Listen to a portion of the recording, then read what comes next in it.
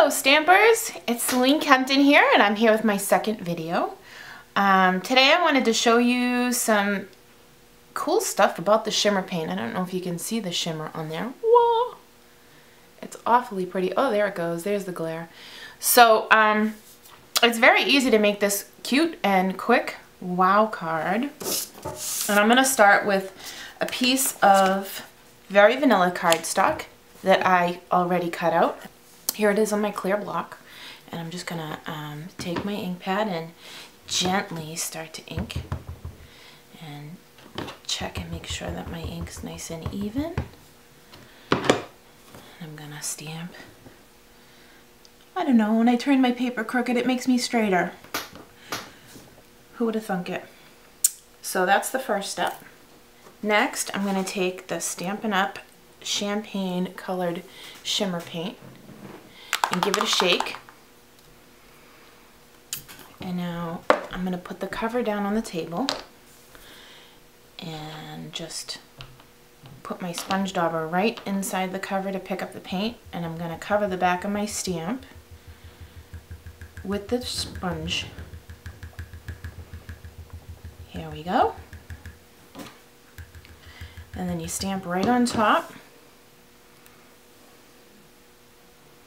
Just try and get it close. It doesn't have to be perfect because it's just a elegant shimmer on top. Isn't that pretty? I've got some sponging and some shimmer paint going all the way around the edges. So I'm going to bring in a piece of cardstock that's already embossed.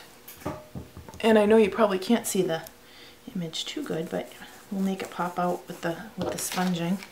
And I'm just gonna make it nice and dark. If it's not getting dark enough for you, you can put it down and sponge it and just go in circles and that makes it real dark.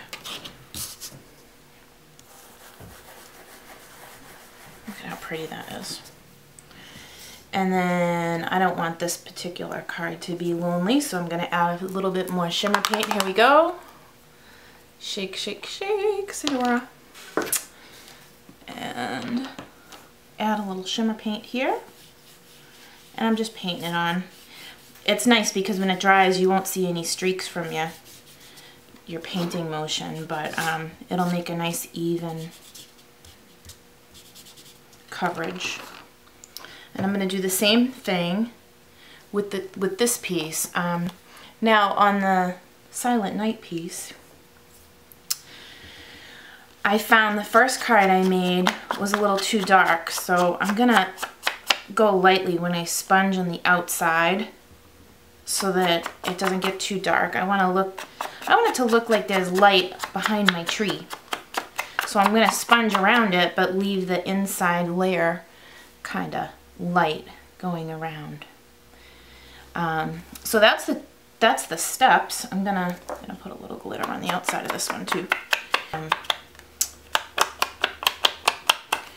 I made 30 of these and by the time I was done, you know, stamping all of my images, this was easy. I didn't even need to go back into my paint very often because it's just a subtle effect. I hope you enjoyed my video today. Have a good day.